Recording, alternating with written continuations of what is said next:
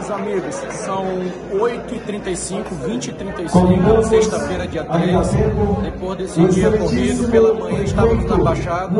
Agora, no final da tarde, eu estou no Grajaú.